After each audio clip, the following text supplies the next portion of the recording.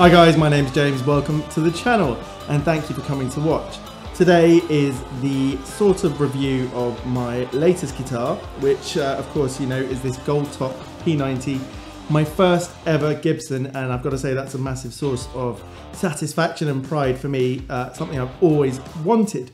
Now I've had a chance to play with this for a couple of weeks and I've come up with a, a quite a big list of things that I love about it and a couple of little things uh, that I don't. So I thought it could be useful if you're thinking about one of these to go through that. Now, let's start with the obvious. You buy a guitar with your heart, and so the looks of it are a really important thing. For me, this is just one absolutely stunning, stunning guitar. First of all, it's obviously come back in vogue right now. A lot of people are playing with gold tops, from Robben Ford to Joey Landreth. And to me, you know, that did influence me hugely, but I hadn't really given them a proper look until recently uh, and I fell in love with it. And I've got to say, from all the horror stories I'd heard about Gibson over the years, um, they've obviously cleaned up their act, new ownership, a new standards, and I was properly impressed when I opened the box and this is what I got. I will just show you one or two little imperfections, but frankly, I'm just so happy uh, with it in terms of the quality of the finish. Not to say that it's perfect and not to say that they couldn't have done better in a couple of places, but we'll get to that at the end. So for me, the look, the, the, the absolutely stunning finish on this guitar, you couldn't want more. I mean, this glittering gold shimmering top is just stunning and every time I look at it you know I feel really really happy and uh, like I made a good decision on top of that, the fretboard is stunning. You can probably see that it's, it's a really gorgeous shade. I think it's been picked carefully, the type uh, or finish of wood that they've gone for, and the fact that it's, you know, it's not super dark and it just goes also with the back of the guitar, which is quite light.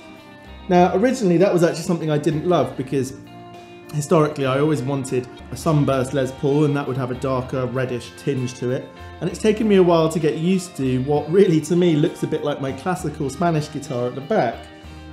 But you get a feeling for the age of this design when you look at that and that is again really something interesting to me anyway. Uh, on top of that, you know, I love these types of tuners. That's something I always wanted having come from Fender, which has its own design language. You know, I wanted this because, uh, you know, I grew up watching Jimmy Page on tape um, and I'd fallen in love with the shape, but you know, something about the look of these tuners. On top of that, the, the little details, the cream of the these sort of soap bar pickups, the P90s, and the, the sort of hat-shaped knobs here, which I just think, you know, they've picked the right color and they've they've done the right thing. It, they've got the thumb bleeder um, bits on them, which I find useful. I like to know what number I'm on so I can remember it for next time. Then we've got the beautiful bridge, which is like the um, ABR one bridge, I believe.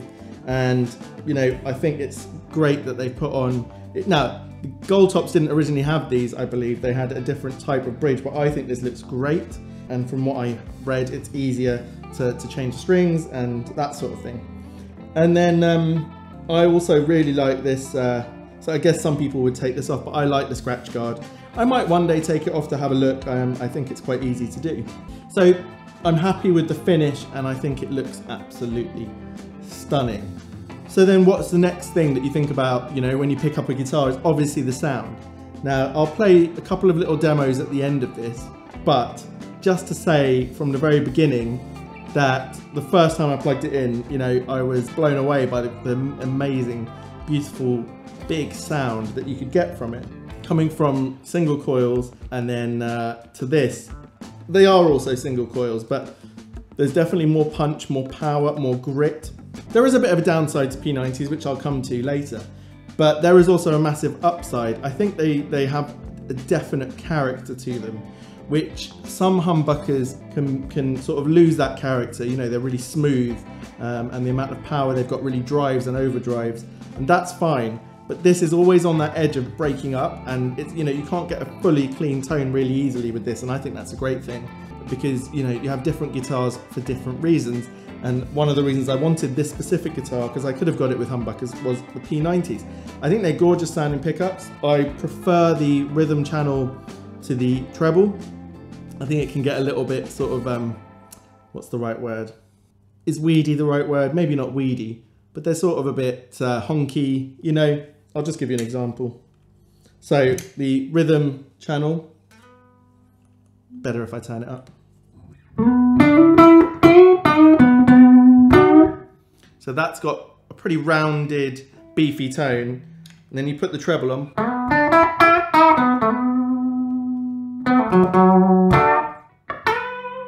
Now you can make it work for you and the way that you set up your amp or any pedals that you use can really add some punch to that and, and give you the sound that you're after from that treble pickup. But it is by itself a little bit honky, a little bit weedy.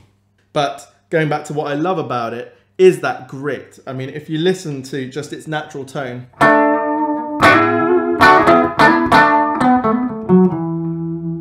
you know, it's already got some great grittiness to it. And then and that just going into a clean channel on my amp and it's not particularly sort of uh, driven on the volume to, to break up um, the tubes right now. So I think that's fantastic. And the minute I picked it up, I loved that about it. So, you know, the sound is in the end the most important thing about your guitar. But the fact that it looks great means you want to pick it up, you know, all the time. And that gives you more reason to play, more reason to practice, more reason to figure out what you're doing and your own tone. The sustain that you get on this from the mix of the pickups and that um, mahogany body, which is just wonderful. I mean, you can really...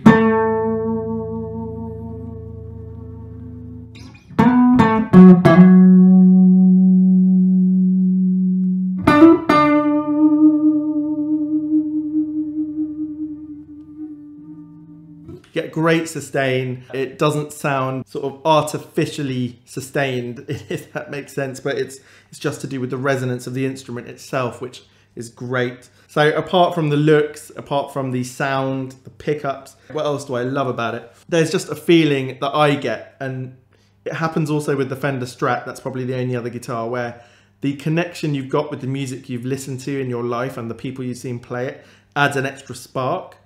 So let's say from Jimmy Page to Peter Green to Robben Ford, you know, there are so many great musicians that have played this instrument that you immediately have a reference frame. Now, they didn't all play it with P90s, but Robben Ford quite often does.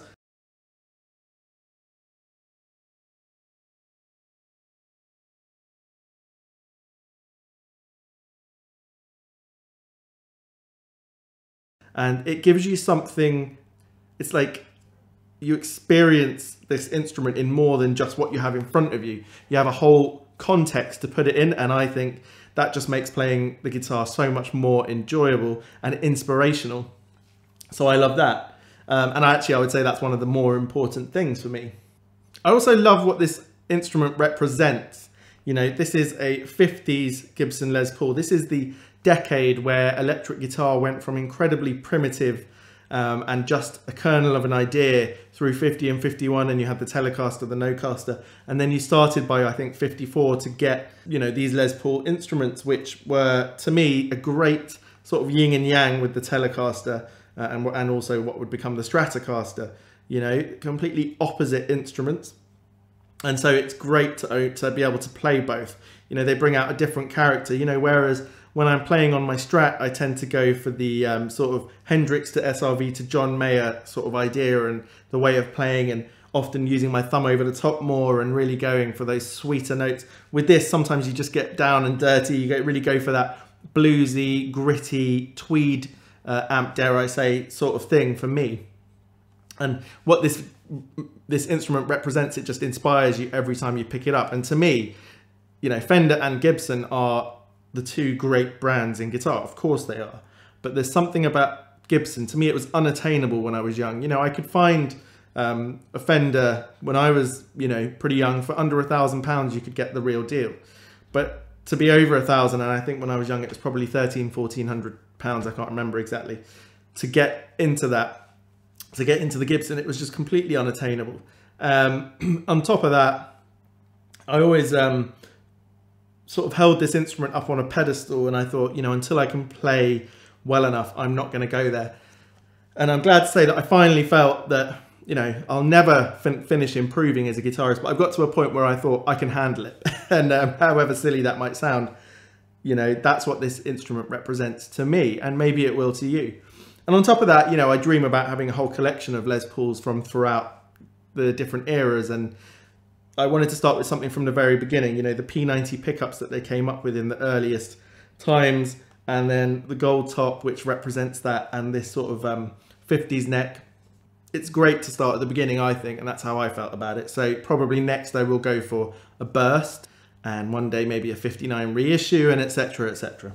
Another thing I, lo I love is the neck. I've been hearing for years about the size of Gibson necks.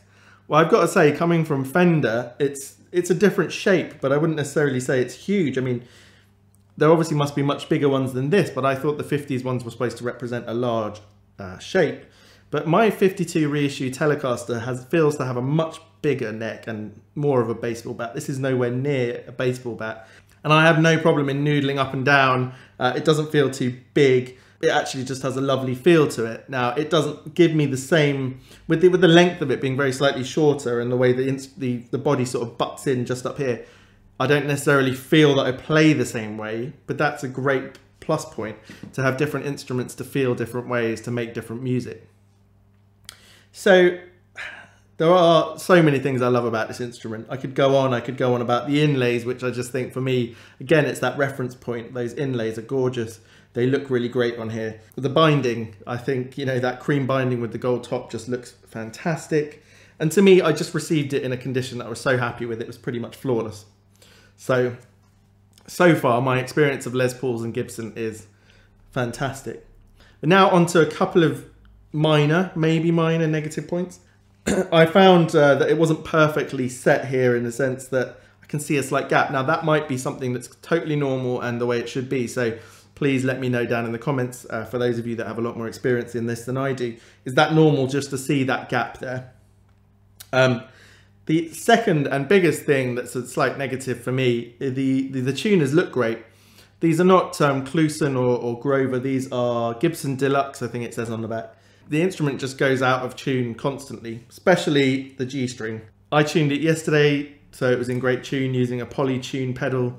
Today, the G string was reading F sharp and everything else was slightly out of tune. I'm just going to check here on the tuner. So I tuned this not 10 minutes ago and it's already slightly flat. Yeah, it's already slightly flat. I might as well tune it. so I think that's something that I'll have to get used to. And if you're going to play with this instrument live, you better be ready to just give it a very quick tune, especially on the G string. Just something to be aware of. They seem to be a little bit inconsistent in how much you turn them and how much that affects the tune of the string. For example, my A just seems to change massively just on the smallest of turns. It's not a huge point. Uh, it's just something that you should know so that you're aware of keeping it in tune. What else? Well, one of the positive points I gave was how the P90s are great and interesting pickups, and this guitar has its own individual quality and sound, and I love that, its personality. But again, this pickup I don't love, the bridge one.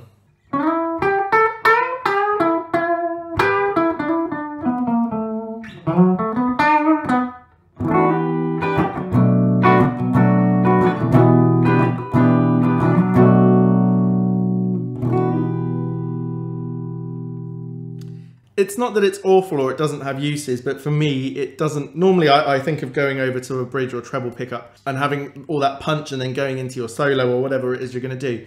But for me, on this instrument, on this guitar, I'm probably going to be sticking to the rhythm pickup a lot of the time. Um, I love it. I think it's beautiful and it's rounded, but it also breaks up nicely, you know.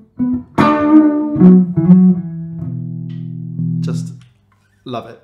So that's another neg negative point on it. Another one is, although generally the fit and finish is great, and I should have mentioned the price. Uh, I think it was 18.49 or 18.99 pounds. That seems to be lower than it was a few years ago, so that's great. To spend under two grand for me on a Les Paul was made it more attainable and more interesting. So I think the price was another positive. Uh, but on the negative side, you know, a couple of things feel cheaper. The um, this little poker chip doesn't feel particularly expensive, and when I first received it, you know, this was very loose and coming off the little knob that goes on the end. I don't know if you can, let's, let's put it here. Well, this has a very cheap feel. Just a sort of molded plastic thing. I haven't got any great confidence that I'm never going to lose that. So I hope they sell spares. Trying to think of other negative points about this guitar.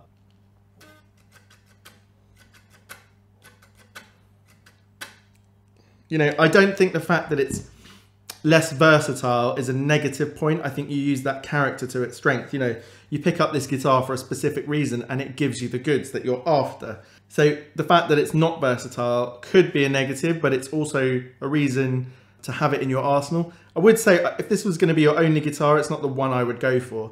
I'd probably either go for a Strat with all its versatility or I'd go for a Les Paul with humbuckers. And if you really, you know, want versatility, then something with um, the sort of various uh, split coil options. Um, you know, this doesn't have any of that, but this invokes a particular time period and feeling of playing and look and character. No, I can't actually think of any more negatives. The tuners aren't great, it doesn't stay in tune, but I think I've heard that that's something that Les Pauls in general have a problem with. A couple of the fit and finish options are a little bit cheaper than you might want, but sort of reflected in the price. And uh, that is it really. I didn't get, I didn't, it didn't come with any real dings or scratches, nothing that didn't look like it hadn't been properly made with care and attention. So I love it, the weight of it. Now, I'm a big guy. Um, you know, I weigh somewhere around 250, 260 pounds. So to me, I've got to say this nine pound, two ounce guitar doesn't feel like it's got any weight at all. Um, if anything, I wish I'd gone for a 10 pound guitar, but I would say that it's, if it is, if you feel like it's going to be heavy, it's very well balanced. You haven't got too much weight on this end, you haven't got too much weight on that end. So to me, so far playing for three and four hours at a time, there's no fatigue here at all. So I think that's something uh, that a lot of people talk about, but I personally don't feel like that's a big deal, especially if you're a bigger guy. So I thought I would just play through a couple of the positions on here. I'm going to play uh, in a relatively clean setting. I'm just going to turn up the volume a little bit. Let's just play through the tones a little bit. I'm going to start in the rhythm. Everything's on full.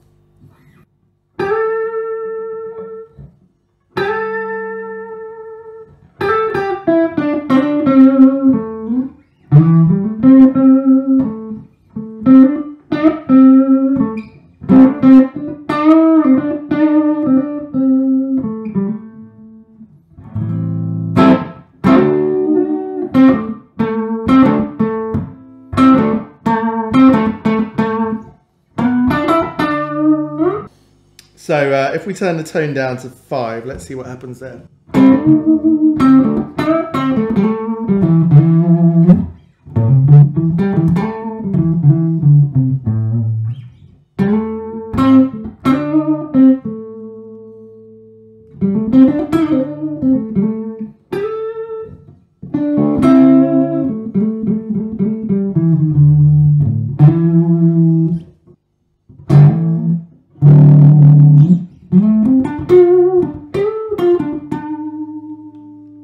Okay, let's go into the middle position.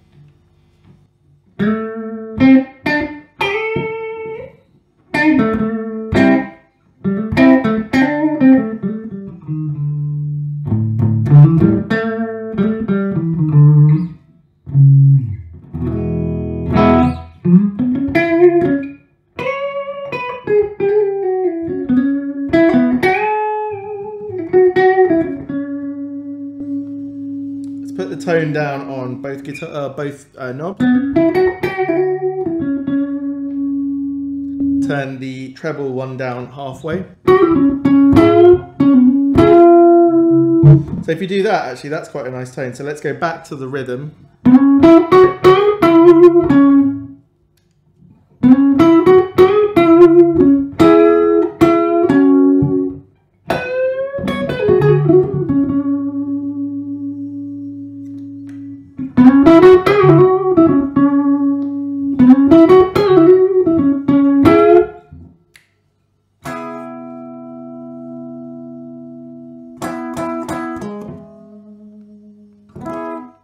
So that's only on number five, the um, treble pickup, but it is a little bit weak if you can hear that.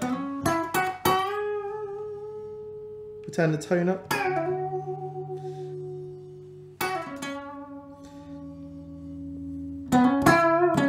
So that's at number seven.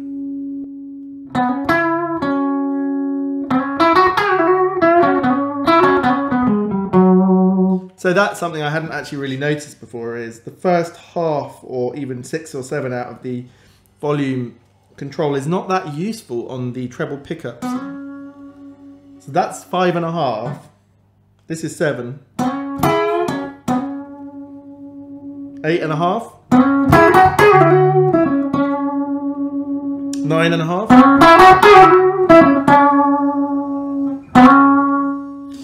Not the best pickup here and also the volume control is maybe not doing it justice. To be able to not play below about six and a half, seven is a little bit annoying.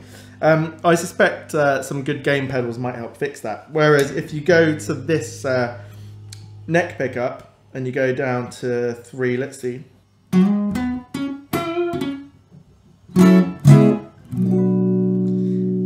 It's definitely much, um, got much more to it than the other pickup in the same volume.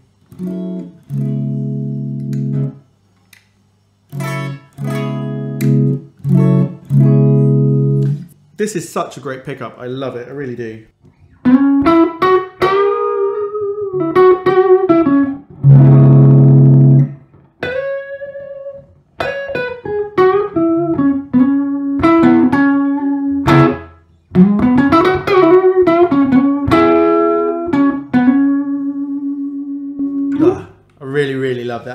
Put it on um, the lead channel of my amp. Let's see what we can do here.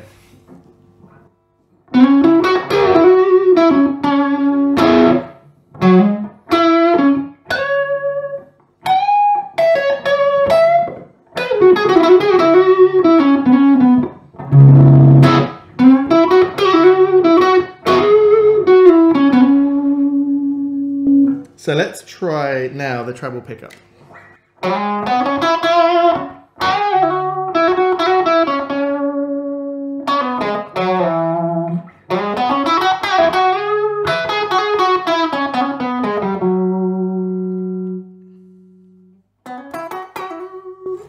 um, as you turn it down, it really hasn't got much to it.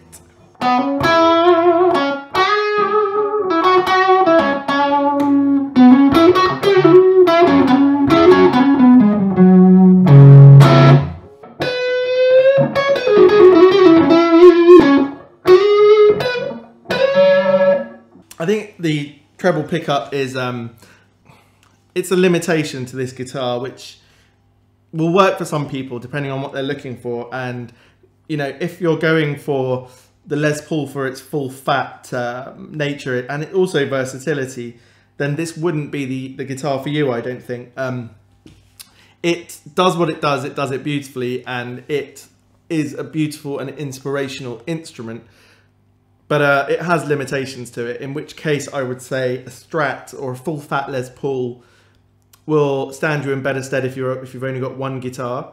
Uh, if you're looking to be a session guitarist, then you know again it's very limited um, in many respects.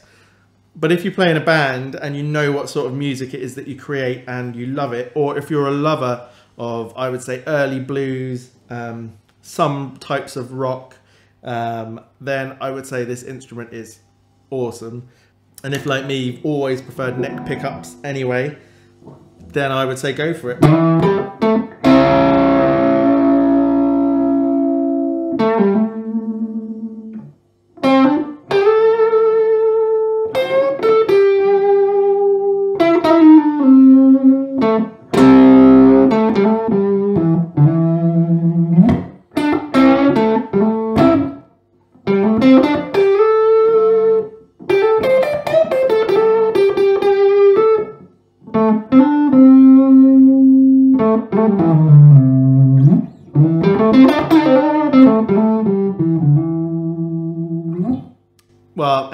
That's it for this one. Um, you can see that generally I, I, love most of the things about it. It's got a couple of weaknesses. It's got a couple of creative limitations um, and a couple of things that are a little bit cheap and nasty like this knob, but it really doesn't detract. Uh, and I hope that this video has helped. If you're looking to buy one of these, then um, think about what I've said in terms of versatility and what sound it creates. But if you love the look of it and it fits what you're doing, I would say just go ahead and order. Um, Gibson seem to be doing a much better job. If you like this sort of content, please think about subscribing or giving the video a thumbs up. It really helps. Maybe share it with your friends if uh, they also like playing guitar or looking at electric guitars. Um, and I hope it's been good. I'll see you on the next one. Cheers.